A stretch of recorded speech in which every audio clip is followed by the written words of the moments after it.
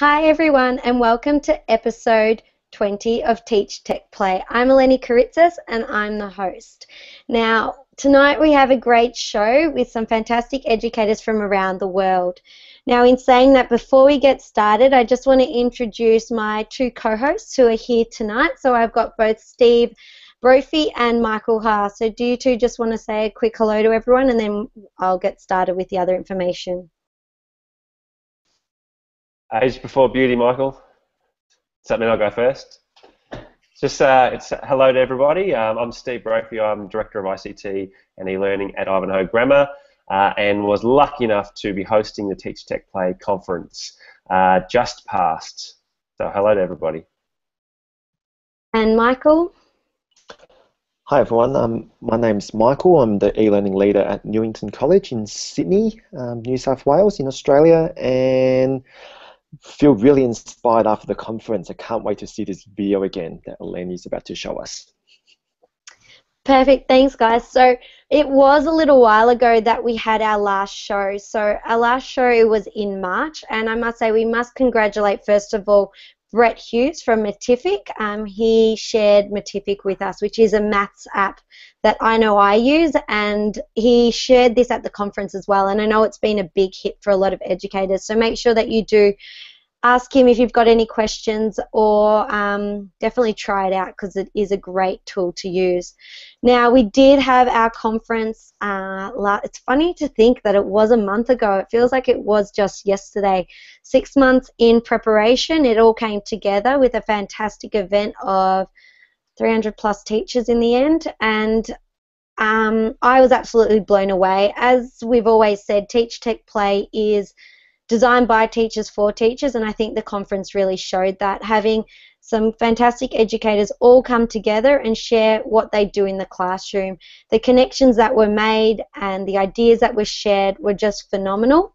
And we're just going to share with you all now a little snippet of the conference. So, in case you weren't there, just to show you, and hopefully we get to see you there next year. So, I'll just share my screen.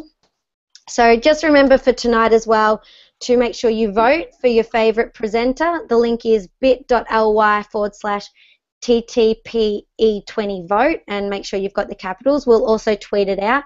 And we are going to continue using the hashtag TTPlay. So even for tonight, if you're viewing, um, you can follow TTPlay on Twitter and see all the conversation and all the links to what our presenters are sharing. So this, I'm not going to play the whole video. You can see this video up on our website. That's teachtechplay.com, um, or you can also go to our YouTube channel. But I'm just going to share a little bit of it with you.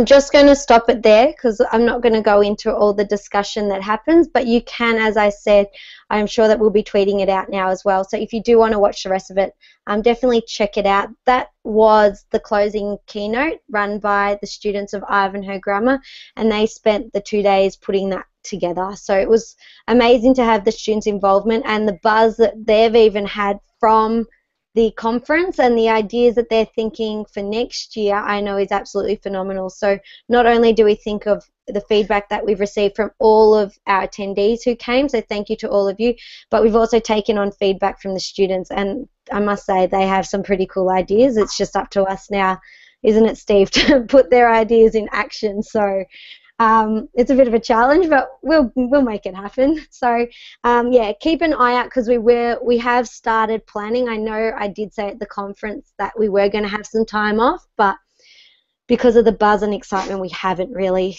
stopped and we've kept going. So we are planning next year's. Now, in just regards to that, um, obviously Teach Tech Play, we had a lot of teachers come together and we did have some great ideas shared by other teachers. And two teachers in particular, Matt Handley and Ben Lannon, um, two Victorian teachers, suggested that it would be great to have a Twitter um, chat. So I've had a little idea as well from that. And what we're going to do is next Monday, we're going to launch a Teach Tech Play conversation. So the conversation will allow you guys as viewers to have a go of playing with the tools that we are sharing here tonight. And if you are using them in your classroom, then next week you can come back in and through this conversation you can share and connect with other teachers because that's what we're all about is connecting teachers with others to help um, improve their teaching and learning. So um, that's pretty much it. Steve, did you have anything else you wanted to say from Ivanhoe's point of view? Just make sure I'm unmuted. No, we're um, we're excited about being able to host it next year. So, uh, yeah, and I've just, yeah, I've just one of my Luke. He's uh, actually he's just tweeted out he's uh, busy watching. So yeah, it's excited to see how many kids are involved and to grow it next year. So it'll be awesome. So pressure's on now. Alrighty, we might get started with tonight's show and not hold it up any longer. So we have got some fantastic presenters from around the world joining us tonight. So we might start off with Dean, if you want to just introduce and tell us where you're from and a little bit about yourself. Sure. Um, I'm Dean Pearman. I'm the Director of Learning Technologies and Innovation at the Peninsula School in Mount Eliza, lovely Mornington Peninsula so I get to see the sea every day. Uh, I teach across the creative arts and also in the science area, which is an odd mix for an art teacher to be in the science area, where I do robotics and coding and all that sort of stuff. So um, I'm buzzing, as everyone else has been, about the conference. I think it was just an exciting time to see all the great things that we are possible with technology. So I'm glad to be here and share some of my ideas tonight. Perfect. Thanks, Dean. Next up, we've got Rebekah. So, Rebekah Madrid, do you want to tell us where you're from and what you do? Just remember to yep. unmute. Yep.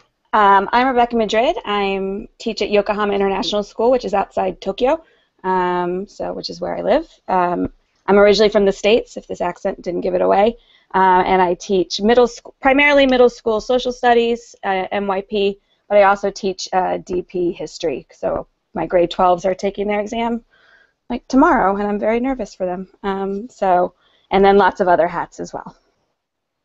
Beautiful. Thank you for joining us, and good luck to your Year 12s tomorrow. Thank you. Next up, we've got um, Tim Kitchen, who I know was a massive hit at the conference, so we're very lucky to have him join us tonight as well. Thanks, Eleni. Yeah, Tim Kitchen here. I uh, am currently in Newcastle, New South Wales, but I live in Melbourne and I worked for Adobe as their senior education specialist after being a, uh, Melbourne-based uh, independent school teacher for the last 23 years. So uh, that's me, and I'm looking forward to sharing four minutes with you very, very shortly.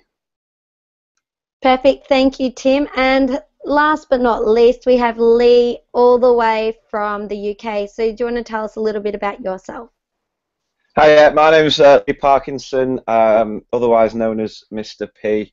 Uh, I'm a primary school teacher in Manchester, England, um, not too far from Old Trafford, uh, where the Mighty Reds uh, play. Uh, and yeah, I, have been a teacher now for sort of nine years. Uh, I still work time at my school, and then I also run sort of training and inset at other schools uh, around the country. So I try to sort of specialise in the use of technology to sport like maths and English and how it can really sort of raise standards in those areas. Perfect. Thank you, Lee, for sharing that. Now, the order for tonight, we'll start off with Dean and then we'll get going through. So, Dean, you have four minutes. Let me know when you are ready and I will start the timer. And um, off you go. Let's and go. I'll give you a one minute warning. Okay, uh, so my little talk, four minutes, is hard to quantify all the technology that I use in four minutes, but I'm going to try. I'm going to show you two apps tonight. Um, my sort of theme is about making learning stick. So I'm really interested in how you can curate information with technology that impacts my teaching the next day. So the app that I'm going to show you, and I'll share my screen in a moment, is Flipgrid. Uh, Flipgrid is sort of like any type of curatorial type of uh, work that you can use online, where students can you can pose a video question and then students can upload a video question there. So I ran a little um, activity that I used to do with my students all the time called the Friday stand-ups. So every Friday, the students would have to focus and reflect on their learning for that week and I asked them three questions in the Flipgrid. What am I doing? Where am I going? And how am I going to get there? And so after that Friday, I'd then look at those over the weekend and assess what my feedback would be that would move their learning to the next stage. So it was a really, really powerful way to assess their learning, to see what they're doing, to make it a little bit more visible. Uh, also used it with hinge questions during class or exit and entry passes as well um, but also with digital portfolios. And I'll show you really quickly what it looks like. So I'll share my screen. So it's on my iPad right now. So there's Flipgrid. And basically, once you've set up the Flipgrid, you can uh, give out a hashtag. And I made one for tonight, TT Play, Dean Pearman. So this is live right now, if I can spell my name right. Uh, and my keyboard just decided to die on my iPad. Let's just restart that again. So I made TTP, so TT Play, and Dean Pearman is the link.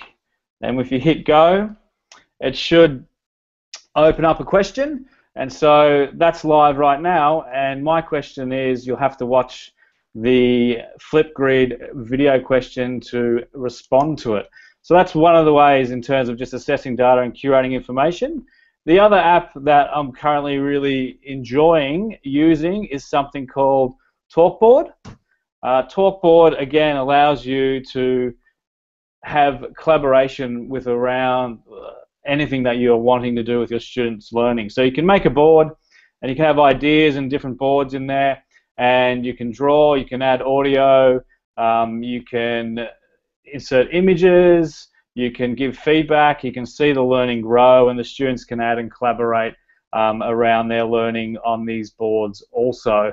And so, as you can see, I've got some images from tonight in there, and you can annotate and you can develop ideas and you can give feedback to students anytime you like, and it's real time. So if anyone else had this open currently, and I start annotating directly on the student's work or someone's work, that would actually work. I am an art teacher, it's okay, I can draw like that.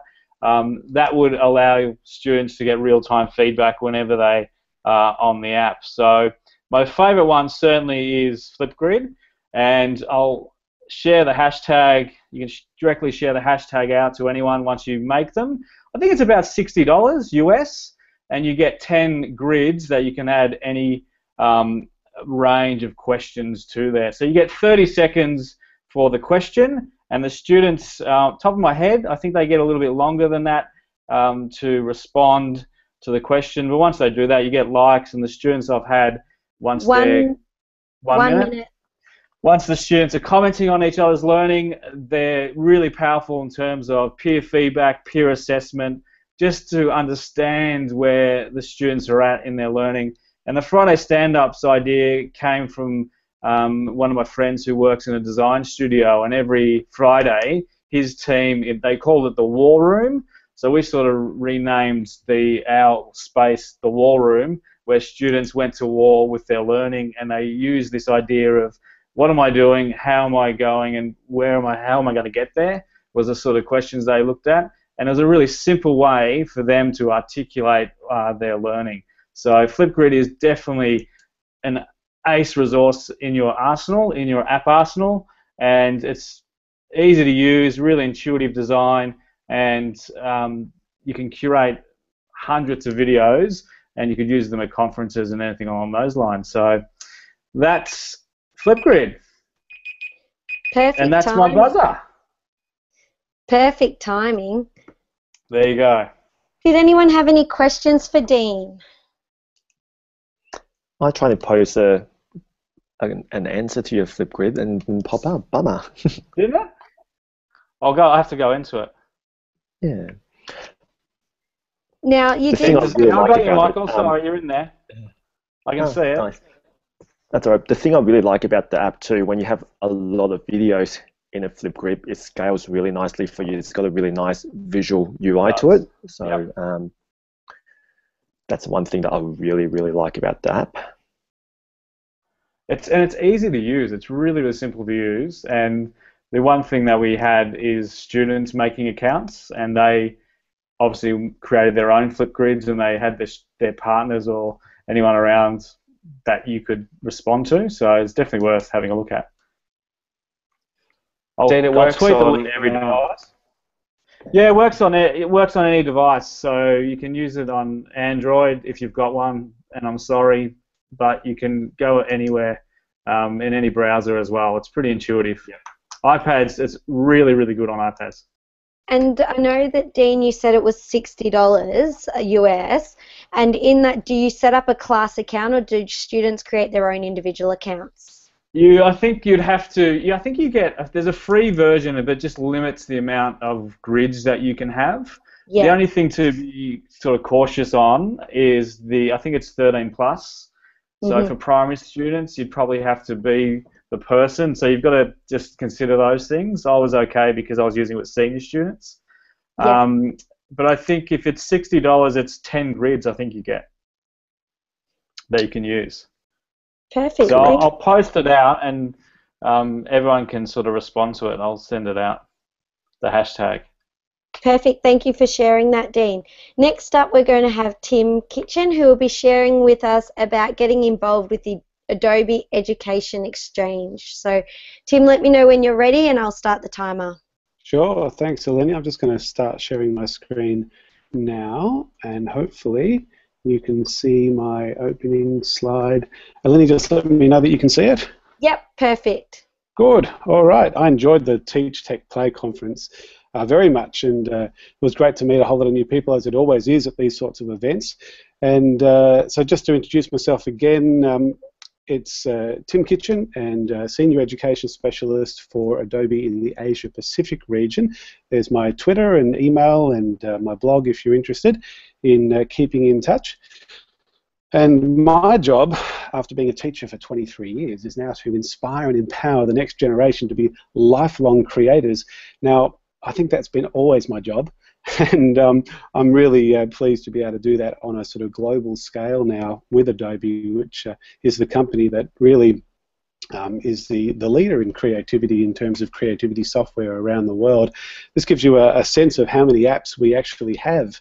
There's over 100 applications and, uh, and services that we offer uh, for people in the creative industries and obviously for educators and students as well. If we break those down, um, these are our desktop, laptop applications, of which number of them you'll be very familiar with. If we break those down, we've got uh, what's called the Creative Cloud, which is uh, probably the most well-known of our uh, applications. But we also have a whole lot of free mobile applications, which uh, I'm really excited about, and I was able to share a lot of those. In fact, I noticed a number of presenters at the conference we're sharing applications such as Adobe Voice and Adobe Slate and Adobe Post. They're the most popular of our um, mobile free applications that are available mainly for iOS, but uh, some of them also for Android, and uh, also some of them becoming more available on just browsers as well if you don't have um, uh, touch devices. These are our services that we offer, and uh, the ones that I'm particularly interested in showing you is the Adobe Education Exchange and helpx.adobe.com, which is like a one-stop shop for um, for anyone who wants help from beginners classes to full-on master classes on on all of our products. So with the Adobe Education Exchange, oh, just before I get to that, these are what we call the Educators Digital Toolkit, the ones that I'm just seeing amazing work being done by teachers and students all over Asia Pacific with. So you don't need to know all 100 of our apps, but if you if you want to get to know some of the ones for uh, teaching and learning, they're the ones that I'd focus on. The Education Exchange now has just about hit 285,000 teachers that are on this portal, all sharing ideas on how to work with our software in creative ways. You can see there's over 8,000 resources there and lots of discussions. It's an amazing dynamic uh, free portal that I really encourage all educators to be part of, uh, even just to get ideas, whether you're a, a, kindergarten teacher right through to a higher education uh, professor. There's so many resources out there for you. The aim of the Education Exchange is to ignite creativity in classrooms worldwide by connecting educators through professional learning opportunities, teaching resources, and peer-to-peer collaboration. And before I just talk about the education community, let's just jump straight into the Education Exchange. I'm in it now live, and uh, it has a, a, fantastic way of, of browsing and looking for uh, particular resources under subjects, under year levels, under products, and you can do your One sort minute. that way. Thanks, Eleni. And if you just do a, a, general search for any topic at all, you'll be able to find a whole lot of things uh, in there that uh, are free and, and Creative Commons. The professional learning in there is pretty amazing. You can do uh, live events, you can do uh, MOOCs, and uh, you can do um, uh, the train the trainer course, which actually gets you into our education community. And speaking of our education community, we have sort of three levels of it, and some of you might be interested in being part of this, from being a, an education trainer uh, to being a campus leader. And I'll put the URL down there if you're interested in joining our education program. Uh, and uh, being part of that. But the ultimate is becoming an Adobe education leader, which we kind of appoint you after uh, being a campus leader for a while. So that's basically it uh, that I wanted to share because there's so much out there that we offer. And if you are interested in getting in contact with me on being part of my email list from whatever region you're in, particularly if you're in Asia Pacific, then uh, use that URL to get in contact with me. That's it from me, Eleni. I'll stop sharing and uh, see if there's any questions. Thanks, Tim. And I know that um, I've just joined the Adobe um, Exchange, and it is fantastic. I know that a few teachers I saw in the discussion um, a few days ago were asking how do people use um, the Adobe products in the primary classroom. So, you know, I haven't had huge experience, but I know of a few teachers who have. So I just shared some, and I think that's what makes it different. Um, it's just a place where anybody, you don't have to be an expert. If you've just got an idea, you can jump in, learn, and speak to others about the products. So I did get a few great ideas from there as well. So definitely check it out. Um, the Adobe tools are easy and great to use. Anyone cool. else got any comments? And I know Lee, you're going to be sharing a little bit more later. So about um, Slate and Voice, it looks like that's great. Yeah. Yeah, yeah. It will just be sort of real examples of how it's been used in class. I absolutely love them. The two of my favourite apps, the uh, Adobe Voice and Adobe Slate. So yeah. Cool. And they're free. They are, which makes them even better. Did anyone else have any questions in regards to that for Tim? Um, no question, but I can personally vouch for the exchange. It's a great community, and um, I know that's how I learn how to use a lot of the um, Adobe products through the self-paced workshops that it offers. And um, I'm not sure if uh, Tim you didn't mention, but the Australian educator is actually one of the most active on the community as well. Mm. I, I think it was it last year that we were we filled the top five spots for being the most active um, members on the exchange around the world. Yeah, at one point we were in the top. Uh, had six members in the top ten around the whole world and that's our education wow. leaders. And of course, Michael is one of our Adobe campus leaders, and uh, it's, uh, it's it's great that uh, you're here with us. Perfect. Thanks, Tim. And I know you've got to run, and we really do appreciate you being part of the show tonight. And if you have got any further questions, um, make sure you do contact Tim. He is always available to help out. Next up, we have Rebekah. So Rebekah will be sharing with us today Quiz, Quizlet, if I can say it properly. So let me know when you would like me to start the timer. I'm ready when you are. Off you go. Um, so I'm going to be put the entire screen in. Um, talking mostly about Quizlet Live. Um, it's when I was thinking, trying to figure out what would I talk about. This is the thing that's sweeping our school. Like our teachers are obsessed, our kids are obsessed. So this is what we're doing. Um, Quizlet.com, most people know, you create or use a deck of cards to review information. Our language teachers love it. Vocab, things like that, we use it all the time. and I love it because, for especially for my um, grade 12 students, um, as they study for their IB history test, there were already created decks, which I love because I don't have to do it. Um, someone else has already done it for me. Um, but Quizlet Live is new, and this is brand new in beta. Um, and basically, what it is is that it is a no login mixed group competition. Um, and so I'm a big fan of anytime I don't have to log in, and I'm a big fan of when it's kind of low stakes competition, so not like super intense and all of that, but really, really fast. And so I made a little Quizlet for my tutor group um, I realized doing 7A is awesome, really shows my Americanism. That's what we call ourselves. Um, and I had all sorts of questions, and they had their exams today, so I just wanted to make it like low stress, easy questions. Where am I from? What are we studying? Um, and then you just hit live, and then what, what students can do is they get a basically a login code on the screen. Um, and that students can immediately log into that, and then they're just put into random teams. Oh, there's came up on my screen. They would go to that code, randomly put into teams, and then they move quick. And if you, my class is loud when they're moving, and then they try to answer the questions together as a group.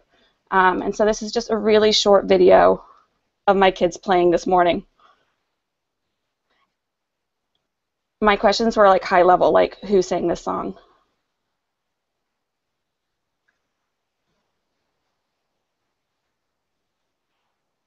And here you can see that it is a competition, and on the screen they're going, the um, numbers move ahead, and then when they get it wrong, they go all the way back to the beginning. So it becomes a review game. Um, what I also love about it is that it will tell you what they got wrong um, and what they got wrong often. Um, so you can use it as that formative assessment bit.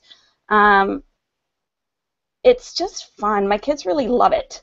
Um, they really like they came in today. They're like, "Are we gonna play?" And that's we're not a content-heavy course. We're MYP. I don't really care that much if they memorize all the dates and all those things. Um, that's what Google's for. But if you're using it for um, vocabulary or you're using it for get to know you type things, or if for the upper levels it does matter in terms of content, it's really, really simple um, and really fun. And they I, they learn from it. Um, and so that is my spiel. Um, any questions? Perfect. And you even had 30 seconds to spare. Well done. Thank you. I try. I talk really fast. no, I love it because, um, as you said, you know, it's not always about just knowing facts. Sometimes, um, you know, we're that is what Google is there for, as we all know. But it's a great way. I know that our language teachers at my school use it all the time, and it's the great feedback. I hadn't actually seen the live. It's so brand new. It just came out last week, I think, or last month. Yeah, so I love that how it moves if they get it right or wrong. So it really creates that competition. I think I might have to give it a try. Does anyone else use it or have any questions or comments? Dean, you're muted. Uh, I've, I've used it, but I've never used the live function, so that looks pretty cool. Yeah, it gets crazy loud. Just I love crazy loud. Yeah, learning's meant and to it be makes, crazy loud. And so it's and it goes like I've done it with my years, like my 11 year olds up to my my seniors, and they're just as loud and obnoxious, yeah. um, which is perfect. Yeah, no, it does, and I think that's a thing. A lot of these tools that we may have heard of do have these updates. So it's great when you come in and reshare it and refresh our brands and go, well, yeah, I forgot about that tool. I might try it out. So that gives me a little a little test for this week to make sure I do that. So huge thank you, Rebekah, for sharing that. No problem. Next up is me. So I will just get started, put my timer on, and share my screen. Now let me just make sure I've actually got mine open. Yeah, I do. Okay. So, alrighty. I was enjoying yours so much I didn't actually even get a chance to open it. Alright, I'm ready now. So what I'm going to share with you guys tonight is a little bit, well, if I go to slide one, a little bit of um, this year, pretty much, I as teachers, we set goals of something we want to achieve by the end of the year. So, something I've been trying to work on this year is to create more of a student voice and also to allow my students to document their learning. I just found that a lot of the time my students were having these great conversations and they were doing great learning, but it wasn't actually all in one place that I could just easily access it. So I've been trying out a few different things with them, and being in year six, they're heading over to high school here in Australia next year. So I wanted to get their independence up to know what is expected of them to set them up for next year. So these are just a couple little examples. So this is goals. So I've linked it to um, the I, uh, the PYP skills here. So my students know they've got to link their goals that they're setting to the transdisciplinary skills as well as to the PYP attitudes. So they can simply copy and paste these onto the slides. They then wrote a reflection of term one and then I wrote a little comment at the bottom. They then set some goals for term two. So we've just started this this term and I've written a reflection underneath. And then each week they write their goal for the week and then they write the reflection in a different color. And they link it straight away to their attitudes and their skills to show me their understanding. So you can see there are little examples so that's one thing that I've done and I give feedback through that and that's a blank template. So they've got every week and they just come in each week and they know at the start of the week um, in our language time, they are to set up their goal for the week, and at the end of the week, they do their reflection during their language time. So it's independent learning where I can rove and support where needed. Another thing that we do is we do word study, which links to the words their way that I think some schools may be aware of, where students get different sorts. And this was really great. I have other teachers come in and support my class during this time, but I found it really difficult to actually document and know what they were learning, did they understand, because a lot of it was discussions with other teachers who were in there supporting. So I simply created a little activities slide. So they have different activities here that they can choose from and then it's got an explanation. Then what they do is they do their word sort and they explain on the right what their sort is about. So it shows me if they've got an understanding of this sort and what they've um, discussed with the teacher. Then it follows up with activities. So the students have to choose two activities. There are both partner activities and individual activities. And they made an essential agreement that, you know, we can't always choose partner activities. It's important to make sure that we choose activities that suit what we're doing and what we need. So right here, this is my evidence to know whether they've understood it or whether they haven't. And this is really good for report writing as well. So over the week, they've got two activities that they need to do. And then they do it again. So it's nice and blank and they just sort of fill it in and then it's documented. The other thing that we were doing in grade six, and I've got a minute left, was book clubs. So my students were given a book that they were required to read over three weeks in a group where they would have discussions and decode and do activities related to the text and question what was happening.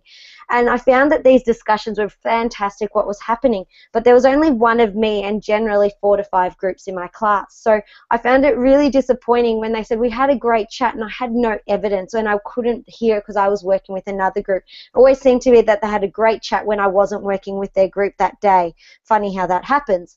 So I've put together where a little documentation where they can reflect on the book. And to help with their comprehension, they had to write a summary of each each um, third of the book as well as new words that they discovered in their book.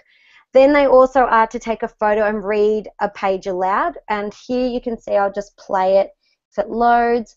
And then what I can do is I can go back to the slide, wherever it is now. I've lost it. Ah, my timer. Um, and I can, once it plays it, and of course it's not going to play it, I'll just quickly show you. And then I can hear their recording It was like when you had a favorite T-shirt that you've worn forever. And then that's my evidence of their reading aloud. And then I just go through and they do discussion questions with each, with each other, and it goes on. And then at the end, they do a book review of the book. So that's just ways I'm trying to create student voice and independent learning and documenting it along the way. And I'll stop because I've gone over time. Did anyone have any questions? I've just got a comment, Eleni. It's what I love about Google Slides is generally when people use a presentation tool, it's a teacher thing, and it's me telling you. What you've done that is give over the keys to the kids. So that's a really, really great use of it. And the other great thing is we've just started using digital portfolios. So the students have actually just uploaded goals for term two, and that every week they add to it, it just updates automatically. So they don't have to continually keep posting things to their digital portfolio. As the slides update, it updates there. So then it becomes visible for parents to see, as well as my comments and feedback. So it's just another way I thought of documenting everything. Do parents have access to it, like ongoing, or is it between you and the kids? So at the moment, it's just with me commenting on it, but the students can share their digital portfolio and their parents can see their digital portfolio, so then they can view what the learning's happening through that portal. Cool. Any other questions? Are all done? Perfect. Lucky last today we have got Lee, and um, Lee is sharing with us making learning real with tech. We had a lot of making learning something tonight, so it's good to see. And you'll be sharing with us Adobe Slate and Adobe Voice. So looking forward to it. Lee, let me know when you're ready for me to start the timer. Is it? Can you hear me? We can. Can Yes, you see my I screen? can. I'm sharing my screen. Can you see that now? Yeah, I can. Yeah, perfect. Yeah, bro. We'll, we'll get we'll get going then if that's okay. Yeah. Off you Um, go. so, yeah, so I'm, I'm just going to touch project that I did with some of my students that here with this app Motion Math Pizza, which I absolutely love. Um, it's it's a great app. It's sort of a game where the children have to apply math skills in um, a real got to do pizza shops, handle a budget, and you know go and buy ingredients. Um, you know, and as the game progresses, it gets harder. So they've got to judge who price for for the ingredients. They then have to use their sort of mental uh, calculations to actually serve customers uh, and that sort of thing. So we did that. We we did that, and just from the engagement and the enjoyment from the children, I wanted to then lead it into um, English. And at the time, they were doing sort of persuasive writing. So we're creating a website for the children's sort of pizza shops. And to do that, we use the app Adobe Slate. So this is a free app, absolutely brilliant. It allows the children to create these amazing, uh, very sort of professional-looking web pages where they can add lots of different content, text, images, that sort of thing. And the final product that they get just looks like it's straight from a sort of uh, almost like an Apple website, something like very sort of professional looking. And from what the task, I just thought, do you know what? There's there's more to this. So I decided through social media to contact all our local estate, uh, not estate, pizza shops, takeaways, deli shops, that sort of thing, and basically asked those businesses whether they would like to hire my class to build a website for them and sort of give the children a real purpose behind all the writing that they were doing. So what was most important was the quality of the writing, um, but it's the way that the technology sort of made it real for them. And we were lucky to have um, a, a, local deli shop get in touch and say, yeah, we, we, would be quite happy for them to create a website. So we did our writing. From that, we did a lot of editing, and as a group, we then created our deli website, which if you then go to the deli nagshead.co.uk, you'll see that it's the actual website used for that business now. And it's just amazing that the way that technology can, you know, bring make everything real for that for that for those children. So all their writing now is actually being used by a real company to advertise their product. And the feedback from the actual fantastic. They sent a load of vouchers for the children to go in and get their own uh, sandwiches and then uh, as a follow-up, we then made our own sort of advert, and what we did here was we combined Adobe Voice with some green screen. That's going to play.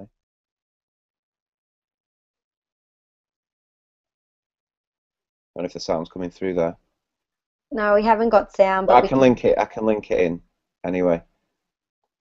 Um, so yeah, so that was one one use of Adobe Slate, one uh, just for the children to actually create a website for a real business, um, and it was just it just added so much purpose and the quality of the writing, as you'll see if you go to the website, just absolutely fantastic. Um, and so I'm constantly on the look for um, other places where we can use text uh, in real world in, in environments. So I don't know how many of you have. I don't know if you've got Nando's in Australia. I, I assume Yeah, that you would do. do, but in, in, in England they're quite popular. The children absolutely love them. And in most of the Nando's restaurants that you visit, there is the uh, Legend of the Barcelos Cockerel story. And when we were doing sort of traditional tales, legends in, in class, we decided to focus on uh, the Legend of the Barcelos Cockerel, which is what the symbol from Nando's is based on, an ancient sort of 14th century Portugal um, legend. And so the children wrote their own versions, and almost as a, an assessment tool, because we'd, we'd looked at Adobe Voice, the children had to then create a visual story of their versions of the Barcelos Cockerel. Again, I don't know if that's coming through the sound. No, can see it, but we can't hear it. That's okay. But again, this is on, on YouTube, so I can send the, the link link to you. And again, when we put that on our school blog and we uh, tweeted Nando's, we got amazing response. But the best thing about it was was the fact that Rob Papps, the, the sort of chief exec of Nando's in the UK, got in touch and actually then sent the children um, some chicken checks so they could all go and enjoy some of the food there with this letter saying how much they loved it with a with a poster for us to put up in school. So again, the children's work there, and it's the way that the technology isn't replacing the writing. The writing's still taking, but it's the way that it's enhancing the final product, and then using the internet as a platform to share and showcase the work. You know, it, it sort of links in with my sort of motto, which is when learning is real, learning um, matters. So um, so yeah, so there's my presentation. I hope I've done it within the four minutes. I'm not sure. I've I've I've talked quite quickly there, but everything is is on my blog, which you will um, just bring stop it there, which you will see uh, just there. So Mr. Parkinson, ict.blogspot.com. So everything I've talked about there, you can you can look at. But um, but yeah, no, thank you very very much. I um, I hope you've enjoyed it, and thank you for that opportunity to talk to you. Thank you. Thank you, Lee. That was fantastic. And I must say, um, I think that's what teaching today is about making connections to real life examples. And you can see the joy on your students' faces there, you know, creating a website for a local shop and then my Nando's actually. Oh, that's all right. Hang on a second, my Oh. sounds. Have you disappeared? Have you disappeared? Have you got me now? Sorry, just a second. My sound seems to have gone. Just get, bear, bear with me a second. No problem. Let me try a different set of headphones. Can you hear me now? I'm just going to put these ones on. I'm sorry, I'm going to look like a DJ now, but these are my, my sons. Sorry, go on. Can you hear me? Yeah, yeah, I can hear you now. Sorry. Yeah. No, that's all right. I was just I didn't want to saying. I, I was just saying that you know that's what makes teaching today different. It's about making those real life connections for students and allowing them to, you know, see what impact they can have on the community. And the joy that they had on their faces in those photos was absolutely phenomenal. So huge thank you for sharing that. I know that gives a lot of teachers uh, a lot of ideas. Did anyone have any comments or questions for Lee? I was just going to make a comment. Uh, just a slate and voice, how fantastic they are. I mean, we're using we're Oh, using yeah. them right now with our year ones, uh, and they're actually reading stories and interpreting their stories that they're reading, and it's just they're just eating it up. It's such a fantastic app. They're so intuitive and really great to use, and they make everything look fantastic. I remember the days when you actually had to code it yourself to make everything look beautiful, but now everyone's a designer. It sort of breaks my heart a bit being a design teacher, but it's pretty good. Yeah. I just I I just love the fact that you know it, it's a great way of enhancing the writing process. It's sort of giving children the ability to create content, which is what they sort of crave themselves. So they're sort of watching these sort of videos and visiting these websites. So it's uh, giving them the, the, the ability to create their own, which I think is really powerful. Absolutely. Yeah, Mike, uh, what I love is that you didn't just settle for a nice fancy presentation. You actually extended it and gave it voice and said to the kids, yeah, you can create this, but let's make it purposeful and, and authentic. And I think that what you do for those kids then is that they just won't settle for creating something gimmicky. They'll say, let's make a difference. So well done. Oh, thank you very much. Yeah, I mean, I think at the minute in the UK, there's um, you know a, a, big sort of um, uproar as far as the way the government want us to, to do things. You know, the, the SATs test that's what we're having to do to do. And for me, it's about trying to make, like you said there, everything meaningful and purposeful. Uh, and children aren't going to want to do that when it's preparing for a test. It's about giving them experiences um, you know, and that can give them memories that last a lifetime and create an interest that can go on to something more. So, yeah, uh, thank you very much.